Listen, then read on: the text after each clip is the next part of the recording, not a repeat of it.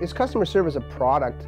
It's a great question. I, I think that customer service is your touch point with everyone you've engaged at whatever level. So if you spend millions of dollars to get people engaged in your brand and your product, and they have a question or they have a concern or they have a trade-in or they have any of these things that happen, their first touch point after the purchase or even before the purchase is customer service. So is it a product? I mean, it's not a physical product, but I think that the way you weave in a process of customer service is really important. I mean, you see that all the time with phone hell, right? When you get on the phone with a credit card or a bank or anybody else, it's press one if you want to talk, press two, and you're, ah! you know, it's just like you, you're angry, and then that's your take.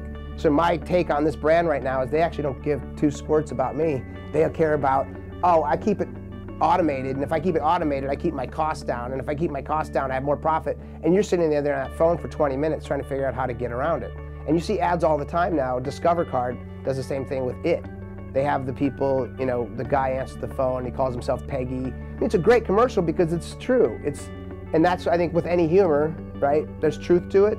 You can't be bad in customer service anymore and be a good company.